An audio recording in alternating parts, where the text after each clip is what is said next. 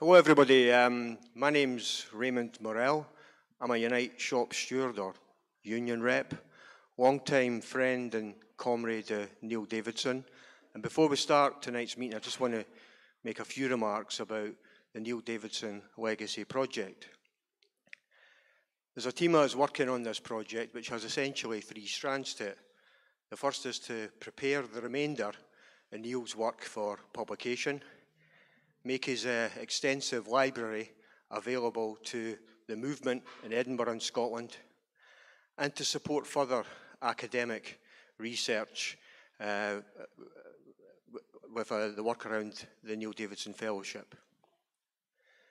Now, each of these are, are in themselves distinct projects, but they're all related. They bring together Neil's work and his, his activism. So the published work that has been uh, published so far is uh, the Brazilian Portuguese translation of essays on uneven combined development and modernism. This is some work that Raquel herself is familiar with. Essays on the uh, general strike in 1820 in the west of Scotland. The collection of essays on revolutionary rehearsals in the neoliberal age.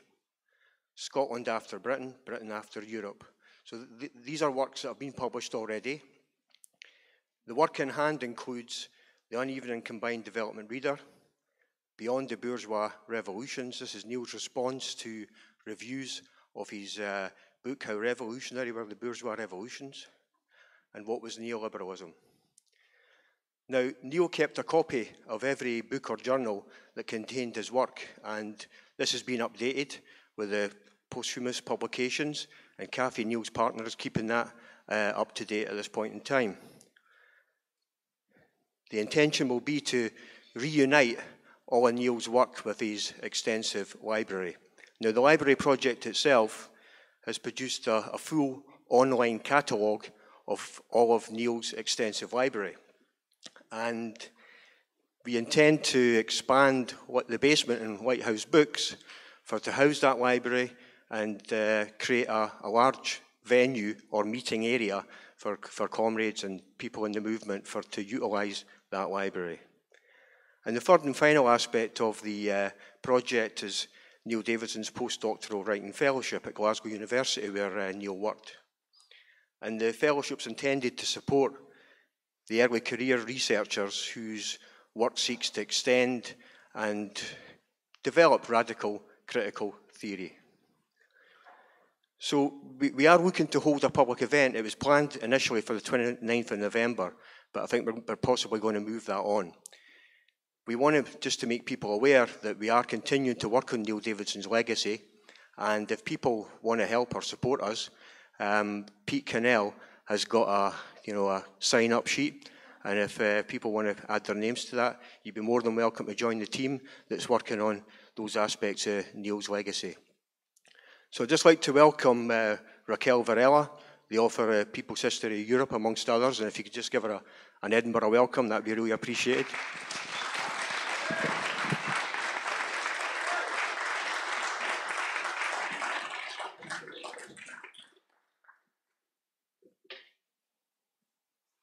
Thank you so much. I almost don't even need the micro, maybe, but I, I will use it. I'm a teacher, so I'm used to Okay, but no, but I will use it. Thank you. Thank you so much. I just take here my notes. If you allow me.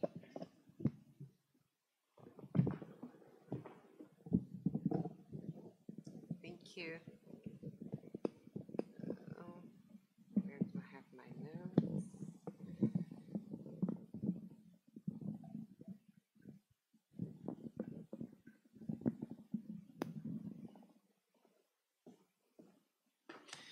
Well, I found it. Well, first of all, thank you so much, and I'm sorry for my broken English, uh, but I will do my best uh, to make myself understandable for you. It's lovely to be here, especially in this homage to Neil. It's okay like this? Uh, nearby? Yeah, it's like this, it's better? Yeah? Wonderful. Um, it's uh, also in a, we are in a very special moment, which is the, the struggle against the genocide in Gaza. Yesterday we had the chance to be in that wonderful demonstration in London. It was absolutely impressive to see so many people, so many people from all kinds of ages and religious and non-religious and different parties and uh, unions, etc. So it was absolutely inspired.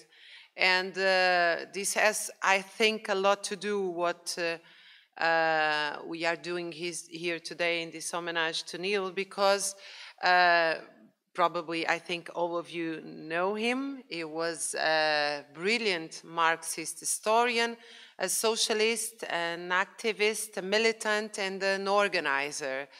Uh, he was also a profoundly erudite, so his books are not just uh, books that try to deal in an incredibly honest way with hypotheses to explain capitalism and the transformation of societies towards uh, socialism or not, uh, but they uh, they um, they they use uh, uh, the way he writes is not uh, this tough academic impossible writing. It's um, it's someone is an intellectual committed to make himself understandable to a large public and to make the debates he wanted um, accessible to a large public also Neil uh, managed uh, very well not just classical social history, but the relation with arts, with culture, etc.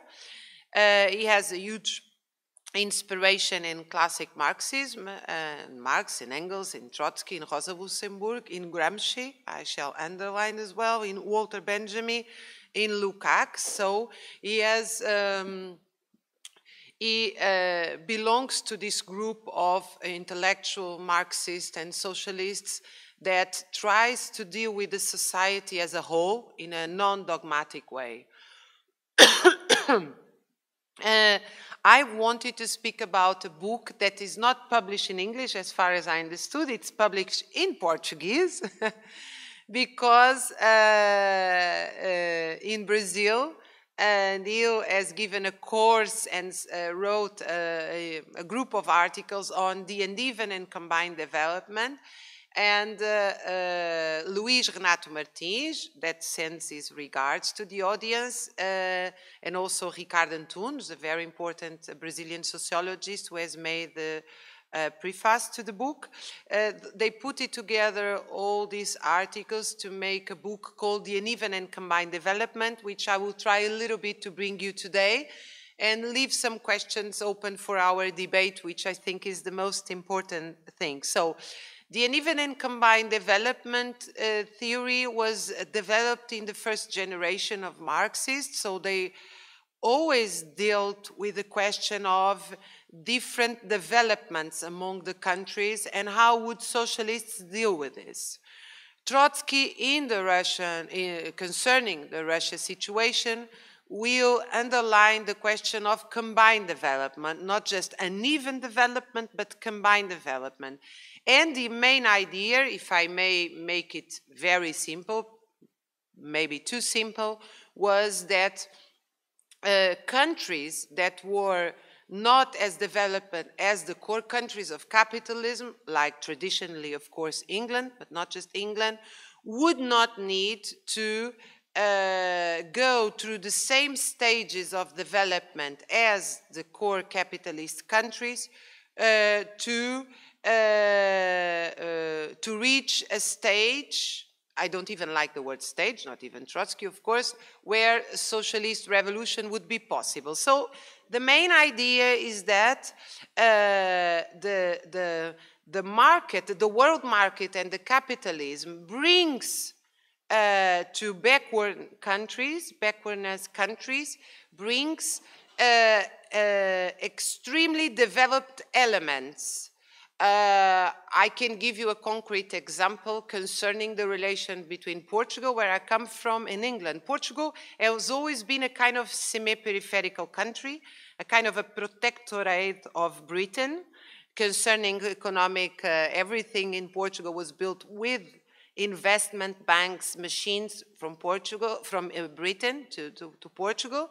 Uh, the famous uh, theory of Adam Smith, uh, which is uh, making blood around the world in the last uh, hundreds of years, was made upon the unequal change between Portugal and England concerning the commerce of trade and wine. So Portugal, sorry?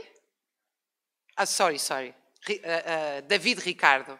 Uh, the, the, theory from David Ricardo. I was thinking of Adam Smith because I'm in Scotland. Uh, of David Ricardo. Uh, the idea was that Portugal would be specialized in exporting wine because they, they do it cheaper. And in exchange, they would buy um, textiles from England.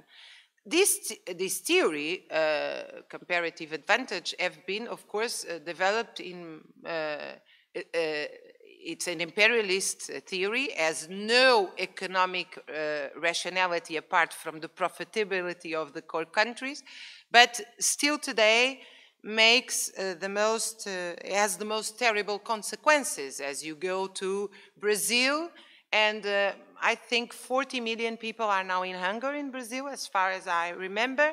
And it's the biggest export of soya towards other countries. So the, the land is not uh, producing what people need, it's producing what is more profitable in the world market. If you think on coffee or in Ethiopia, if you think on tea or whatever. So this, um, the, uh, this is the, the, the main explanation. So, uh, but Portugal in uh, 1870 uh, had uh, uh, started in Portugal the organization of the working classes influenced by the Paris Commune because the Portuguese workers leaders they were in the in Paris they have lived and experienced uh, either directly or by influence the revolutions in the 1830, 1848, the, the, the, foundation of the International Workers' Organization in 64, and then the Paris Commune. So Portugal, which was an extremely backward country with uh, uh, the majority of the population in the countryside working as peasants, uh, more than 80% of the population by the time was uh, analphabet they immediately ins were inspired by the Paris Commune and have uh, created a branch of the uh, workers' fraternity of the International Workers' Organization, which uh, made, uh, which had a, a, huge impact in the workers' organization, and it will be one of the main countries in the late 19th century of the revolutionary syndicalism, apart with, together with France, with Spain, also a little bit in US, etc. So this is an example, uh, but of course the examples that are most well known and that Neil develops is the example of Russia, which of it was uh, one of the, from the point of view of the state, it was one of the backwards, uh, it was the, the most oriental empire in Europe. It's very interesting to say it now because it seems that Russia not be doesn't belong to Europe anymore, uh, which is, of course, very ridiculous from the, every point of view, either geographic, political, or whatever. Uh, but uh, it was clear at the time that Russia was part of Europe, but had a kind of an oriental state, a brutal, czarist, repressive state. At the same time, it, has, it had one of the most concentrated and developed uh, proletarium of, of the world. And it was the fifth or the sixth, as far as I remember, uh, uh, uh, concerning the production, the industrial production, but highly concentrated in St. Petersburg, Moscow, and the Ural, Ural area. So how all this is combined to bring the first revolution after the Paris Commune that is successively takes the power, the first social revolution. This this dialectic of uh, uh, how uh, advanced and backward facts, qualities com are combined in one country. Neil's picks up this analysis to bring us uh, to nowadays hypothesis of the revolution. And of course, not of course, but uh, he goes to China.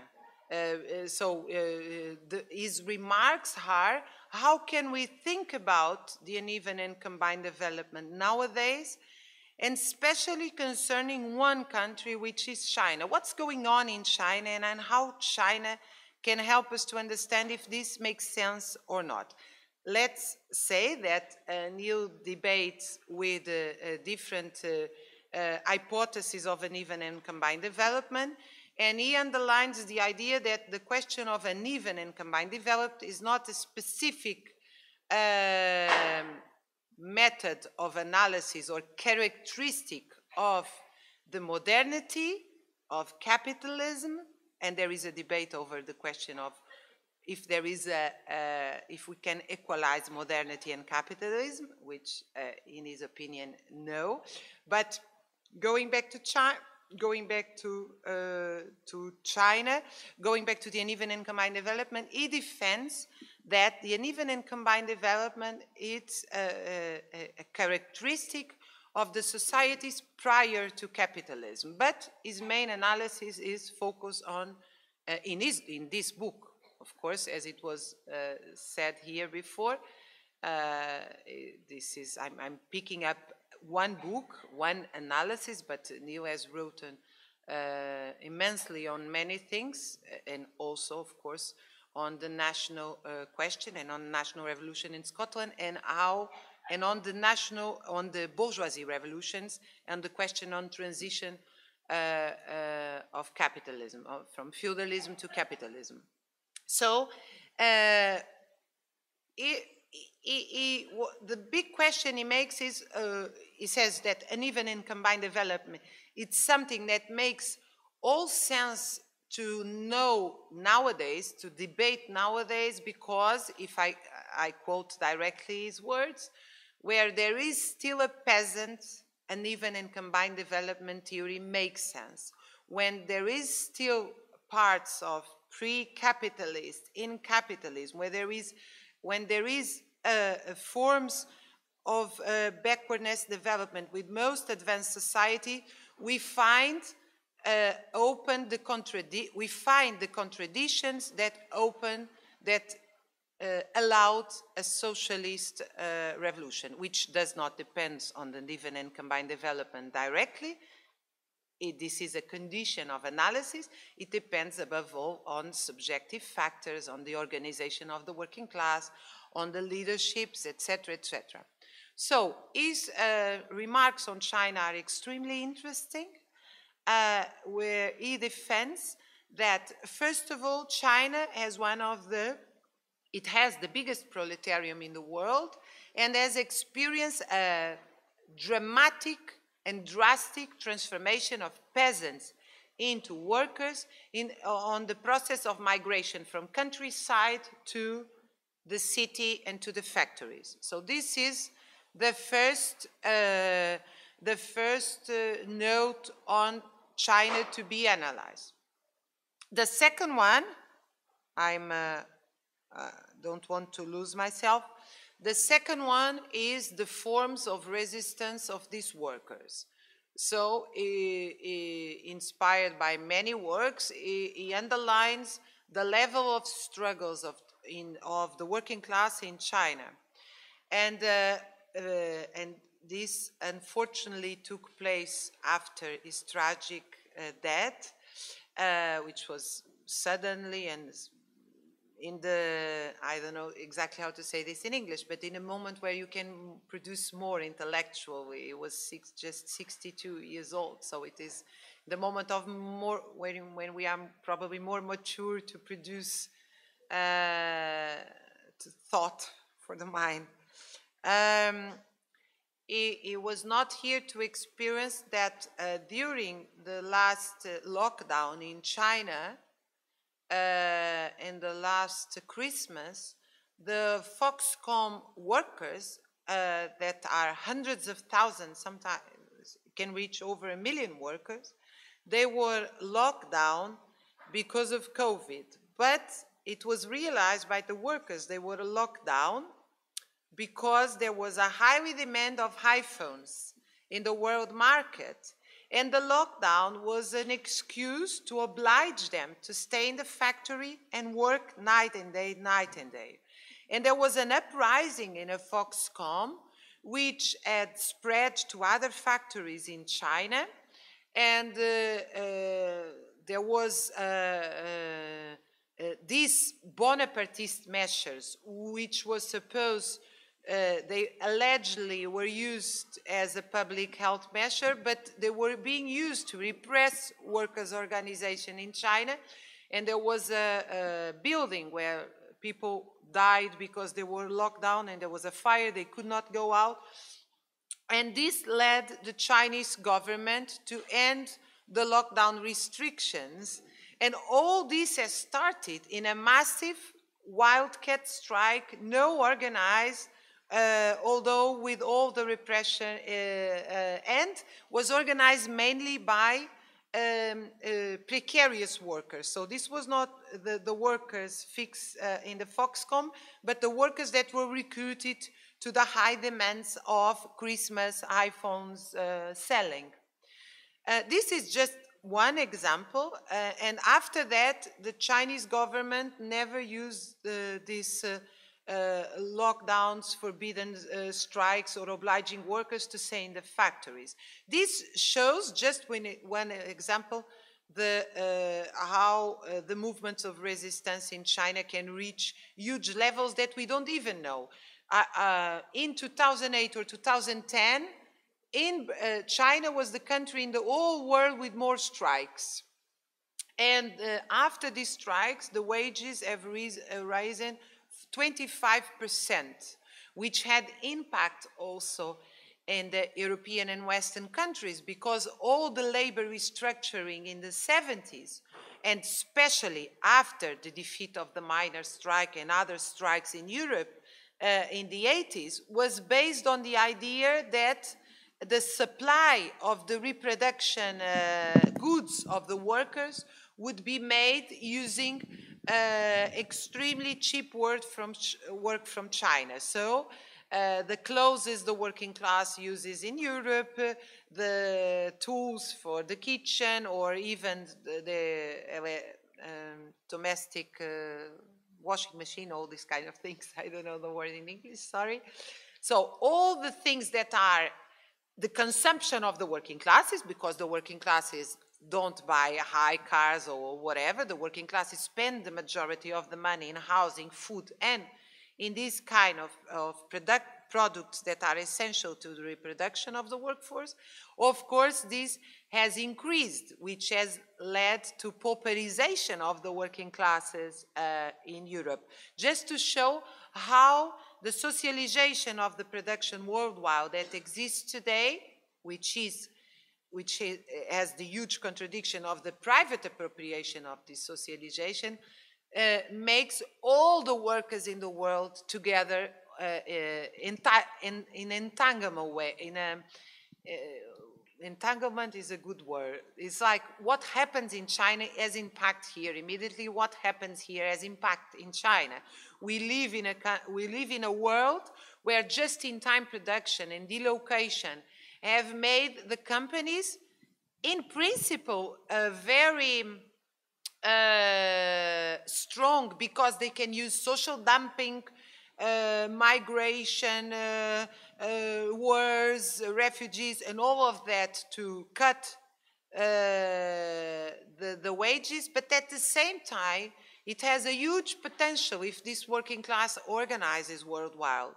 Uh, some years ago, there was a, a strike in the US. There was a strike in Brazil that has stopped the production of a full automobile industry in the US because there was a little piece of the chain that was just built in Brazil. And nowadays, in fact, this is happening all around the world.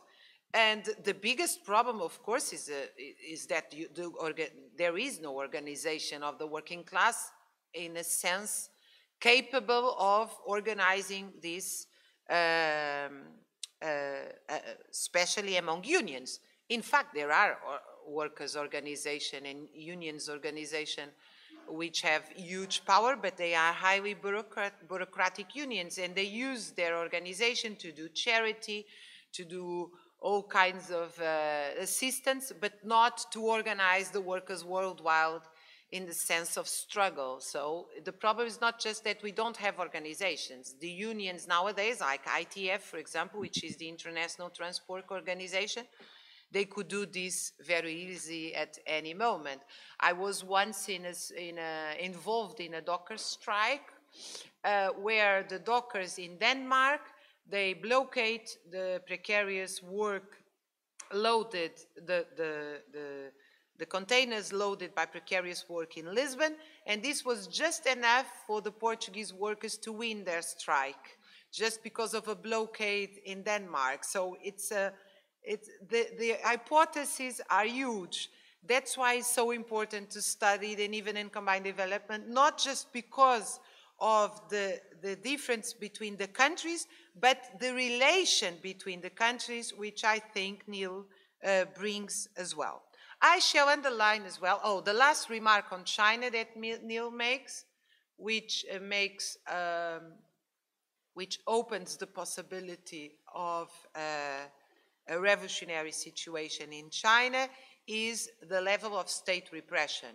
So we have uh, conditions uh, that on, on one way we have a huge proletariat, on the other way we have very important struggles, and on the other way we have a huge repression. We have a state that basically repress the workers. And in, in these contradictions, uh, Neil sees uh, uh, possibilities against, is not a dogmatic conclusion, is um, open, uh, open uh, possibilities. Uh, I, I, want to uh, also say something which I think it's very important. Two things, and I, I finished to open the debate, otherwise you'll be tired of listening to me. Did I speak over half an hour? Really? Almost. Oh my God. You cannot uh, allow me to speak so much. Uh, one thing which I find fascinating is uh, that Neil's study in the, his study on the revolution, on the bourgeoisie revolutions, is that somehow the counter-revolutions in Russia and in China have finished what the bourgeoisie revolutions could not. So they function, not the revolutionary moments, but the counter-revolutionary moments, mainly Soviet Union after the Stalinization in 28 and uh, China after 78, what they do is uh, they uh, finish the uh, nation state modernity towards commodification of uh, the entire society. So it's like it's how history takes goes in a way that was not um, uh, that uh, was not expected. And the other notion of uneven and combined developed, which I think is so important, is that sometimes there is a kind of um, linear approach to uneven and combined development that says that, look, the backward countries can have the, the most developed tools of the forward countries in order to make their revolution. Uh, so it looks a little bit optimistic. It's always in a positive way. And I want to underline the negative way, which is uh, when Stalin went to power, it was not just uh, the end the defeat of the Russian, the defeat of the German Revolution, which had an impact of, which had made possible for Stalin going to power. When Stalin went to power, the backwardness of the Soviet Union also had an impact in the Western countries. So usually we underline how important was the defeat of the German Revolution to the defeat of socialism and the Bolsheviks in Russia, and we forget how, not just how the backwardness can have the best of the development, we forget that sometimes history is, is a, history plays a lot with us.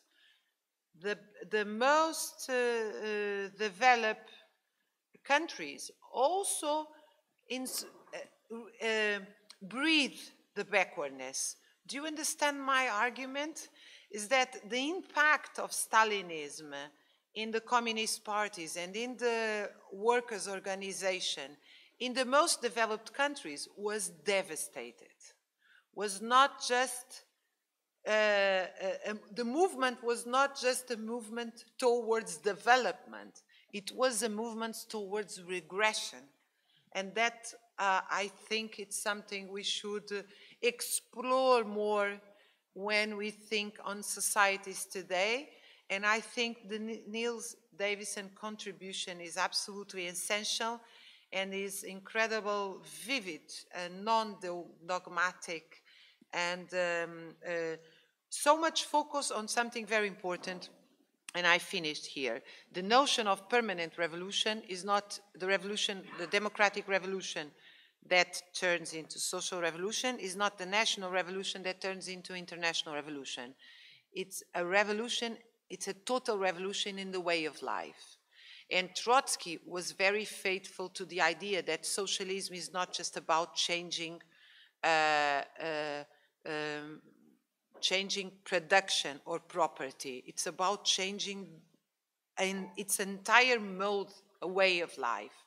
And I think when Neil goes, is inspired by Rosa Luxemburg, by Lukács, by Gramsci, is also, uh, uh, is also bringing the best tradition of Trotskyism or critical Marxism or revolutionary Marxism, which is when we speak about revolution, we speak about an entire transformation of humans, including in our subjectivity. Thank you very much and sorry for my English again.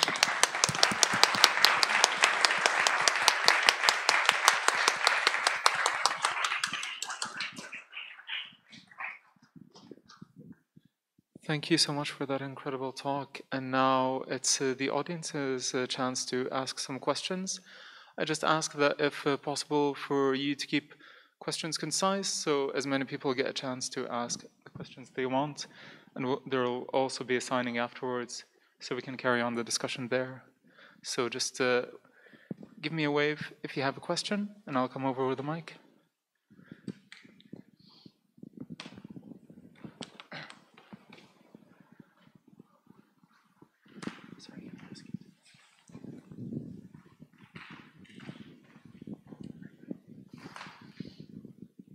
Quite a nice production line there. Um, my, my point is obviously trying, Neil was always relevant to, to the now. He looked back, but he was always interested in uh, what, we, what we have to do now. And when we look to Gaza, one of the, the issues that uh, Neil um, spoke about in other, other meetings when we discussed the now was what is uh, uneven and combined development in terms of Egypt. I know that the, the Arab Springs yeah. were, were, mm-hmm. were cuffed, were defeated in many, many places, you know. Um, but wh- where, where is it that the workers' movement in the Middle East is part of the solution or how a, a different Middle East could emerge. Uh, and given the, the difficulties that uh, has emerged after the Arab Springs went down and the, the, the nature of the ruling class in that part of the world and the ruthlessness and their tying to, to, uh, to USA and to Britain and, and to Europe. Um, I would be interested to, to, to, to know because we do things here. We have our demonstrations, we have our mobilizations, um, ceasefire now, etc. And the workers' movement here has a big play uh, and part to play because we arm uh, Israel um, from factories just down the road. So the problem I think we, we, we see is where is, where is the, the forces that could change the, the situation and develop a different uh, Palestine, which would include um, uh, Arab and Jews and non, non-religious people and Muslims, etc. Where is our aspir, where's our indication that, is that, is that theory a, a useful tool to, to look with optimism as well as um, horror, horror at what's, what's happening? Sorry for going on.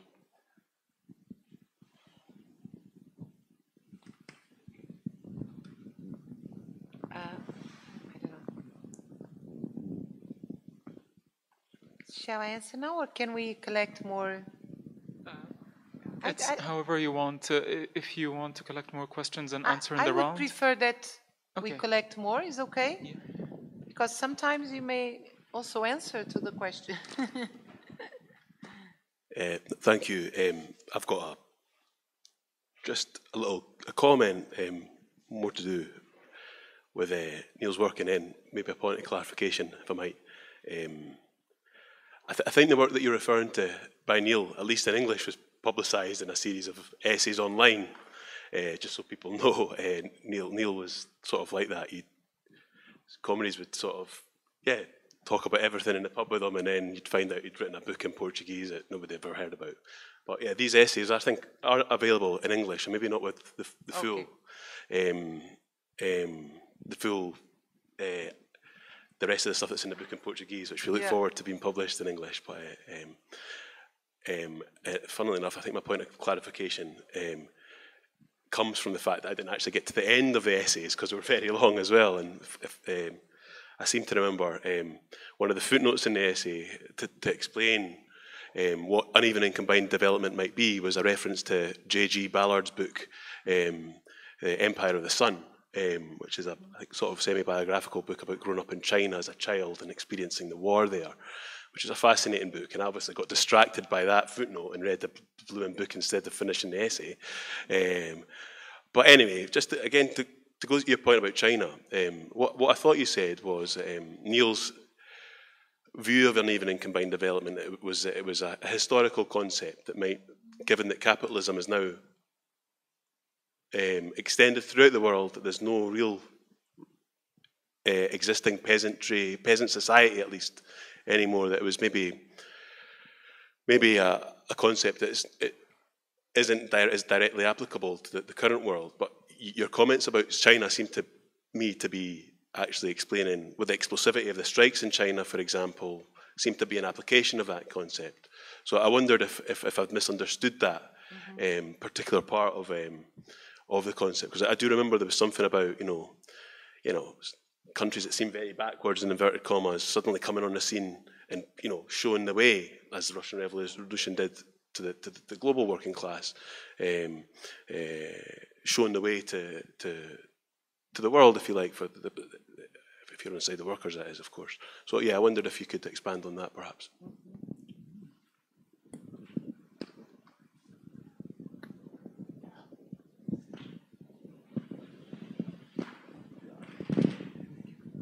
You have a question. uh, You're from Portugal. Was uh, Salazar's regime more bloodthirsty than Franco's regime?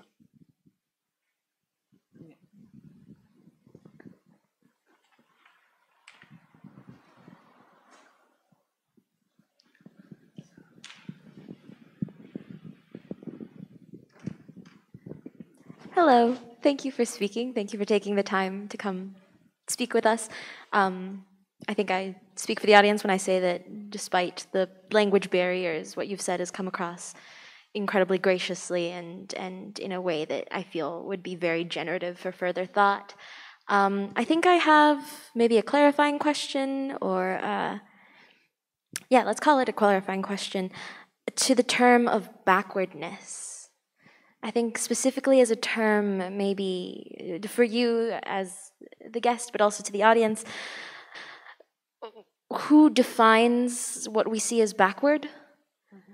And maybe if there is terminology that could be maybe more concise or more attached to material realities that describe the experiences of societies that we see as quote unquote backwards, and whether or not we could maybe clarify what we mean by that when we discuss these movements.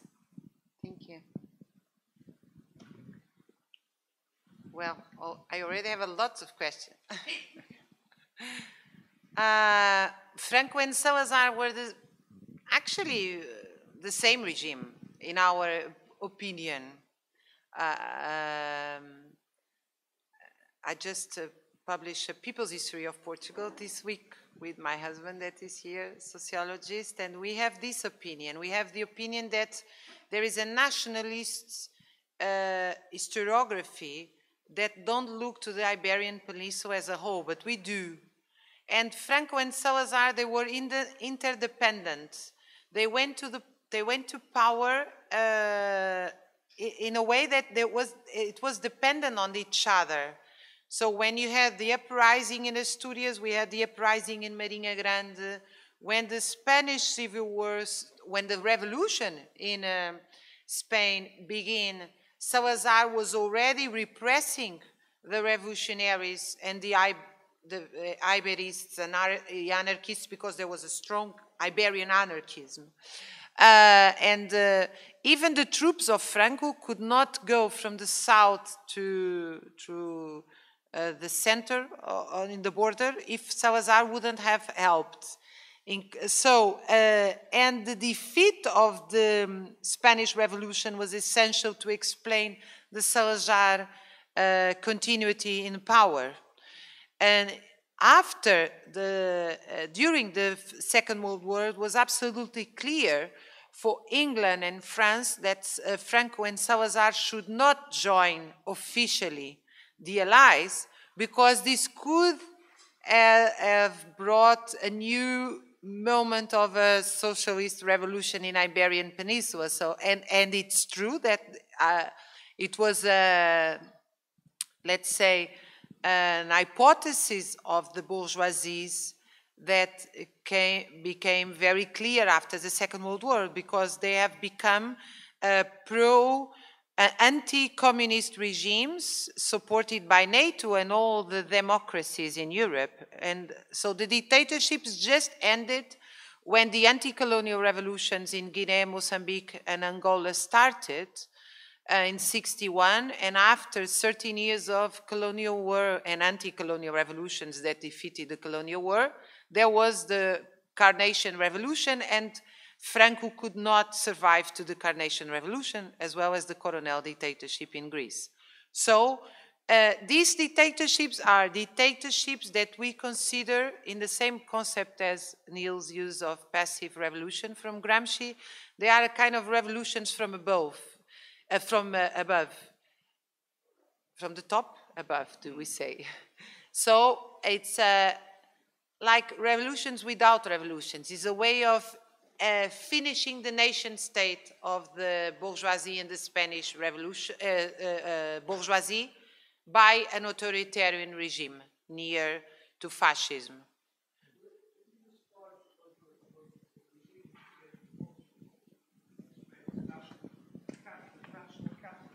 National Catholicism. Well, they were regimes, definitely they were fascist regimes uh, which... In the Italian sense? Uh, in the Italian sense, they were corporative regimes uh, founded the Carta di Lavoro de Mussolini that forbids unions and institutes the gremios is the inspiration, and the Catholicism as the political party. So the church plays the role of a political party. In Spain, because they had to defeat the revolution, they had the Falange and the Movimento, which was more organized as a, maybe as more as a classical fascist party. In Portugal, the Catholic Church played this role with no need to a big fascist party, because the Catholic Church was the fascist party in the Gramscian sense. They had a cap capillarity, uh, in the country uh, in order to bring the peasants to proletarianization, because this is what Franco and Salazar do, in, in, in a way that avoids social revolutions. Uh, uh, this is the, I would say, I don't know if I. Yes, in the sense that uh, they, they ended the modernization, the capitalist modernization, bringing the peasants to the cities to work under the forbidden of unions, political parties, free speech, and all of that. That is the dictatorships in Iberian uh, Peninsula. But they ended in the most, uh, uh, speaking on uneven and combined development, is the anti-colonial revolutions in Africa that started the end of the dictatorships in Iberian Peninsula. And in 74, the Portuguese bourgeoisie had to fly to Brazil because among nine and a half million people, three million were involved in the kind of Soviets uh, in, the, uh, in the Portuguese uh, Revolution. Concerning the Arab Spring, and maybe I will join also the question of backwardness. Uh, first of all, I will answer with my opinion and not Neil's, so it's, uh, I, I, think this is important. Uh, I think when we take out the, the concept of backwardness, it looks like we are opening to a non-Eurocentric perspective, and I think we are reproducing an extremely Eurocentric imperialist perspective. For example, let's take the case of Gaza nowadays. Uh, we are asking for Palestinian resistance. No, why not? Because it's not possible. They are in the concentration camp being bombed and killed. There is no possible resistance in Gaza in the sense that people are just dying. The resistance, I don't know if I understand well your question, but I would defend this. I think we have to look to the unions in England, in Portugal, in US and say, look, when are you going to do a strike to end the genocide? Because we cannot ask this in Gaza because we are speaking of completely different stages of development. And if we continue to say that all the countries in the world are equal, in the sense that we defend that all human beings are equal, of course I defend this, but imperialism is not about this. Imperialism is about destroying other countries. And when we use the concept, if we forget the concept of backwardness, we also forget something which is very important. It's not just the working classes of the developed countries that are more political, they have more organizations, more uh, leaderships, more intellectuals, whatever. They have more responsibilities over what's going on in the world. It's not just about having more power, it's about having more responsibility. So I think we should be careful with this concept because we are really speaking of different, well, when Trotsky speak about backwardness and Marx and others, they speak about development of productive forces, of course, but also they speak about development of political forces. So, for example, for the Portuguese working class, it was incredible to come to Paris and London and listen to what's going on there. It's not a moral concept when we speak about backwardness. It's not saying that some people are better than the other one. It's about having tools to change it. And of course, nowadays, what we, not nowadays, after the anti-colonial revolutions, what we have, what we have achieved is a notion of combined struggles, which is highly important. So we cannot understand the Portuguese working class in 74 without looking to the strikes among the forced laborers that were working with their hands and they could not read and speak and they were absolutely essential to understand why the dictatorships ended in the Iberian Peninsula. But we have to merge the two processes. Otherwise, we reach to a situation where we, where we are saying uh, uh, somehow we continue to speak about imperialism, but we forgot that imperialism has brought some countries, mainly in Africa, but not just in Africa, to a stage where people cannot survive in the minimum standards.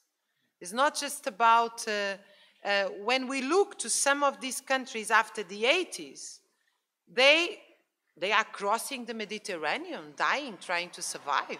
This is what's about imperialism nowadays. So I think I'm not sure if I'm answering to the two questions, but um, if I add another, uh, another uh, comment on this, uh, when we look to the Israeli situation, the Gaza situation, uh, uh, what we see is obviously the entanglements also with imperialism. So for the first time, I feel that there is a resistance in uh, New York, in London, in Paris, in Berlin, that is threatening the policy of terror that Israel does and is threatening uh, the institutions in US and in London. For the first time, I have the feeling that we are experiencing a movement where Israel cannot continue to do it anymore without having a strong impact in the core countries. So, for example, there was a there will be a day of strike uh, called by SI Cobas in Italy, a, a, union. There are already 20 unions who declare a blockade to Israel, and I think this is the way. So it's how uh, these uh, connections uh, can have how uh, uh, the, the, the, genocide of a, a, a, population without anything will can have a direct impact on the, the power uh, in the main countries. So I think, and uh, we have experienced the defeat of the Arab Spring, it's true, but they also have experienced the Arab Spring. So I think we shall, we, sometimes we are a little bit sad because the counter revolutions defeat the revolutions, but there are still revolutions. so the Arab Spring is not the same as the defeat of the Arab Spring. The Arab Spring has shown, for example, that was, that was the defeat of the most awful dictatorships in Northern Africa was just possible because of the uh, mobilization, the massive mobilization of the populations. And this, a, this, is an experience for the masses, very important.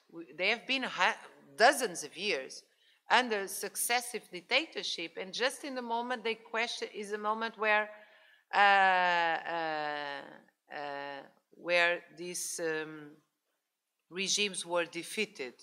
So I think yes, I think it's a tool for nowadays um, and should be seen in a nowadays, even I would say in a most deep, in more deepened way. I don't know if now I will answer to your question if I understand it properly.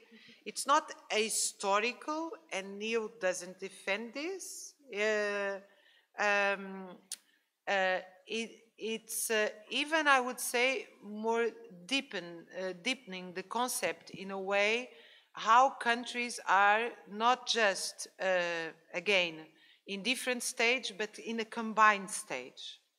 Um,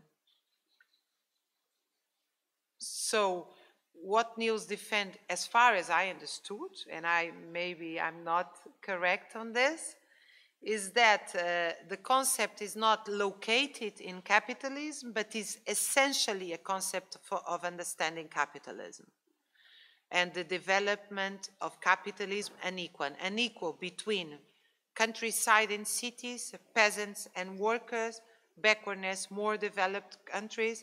So it is an essential concept to understand capitalism and the transformation of capitalism, because this was the main question of Neil concerning why we are studying this. is not just because we want to understand the world, it's because we want uh, to change it.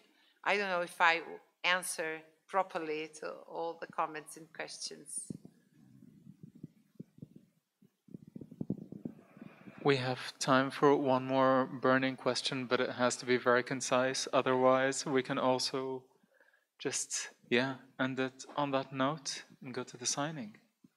So. Thank you.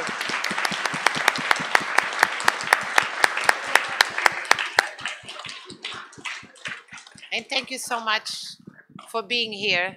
Thank you.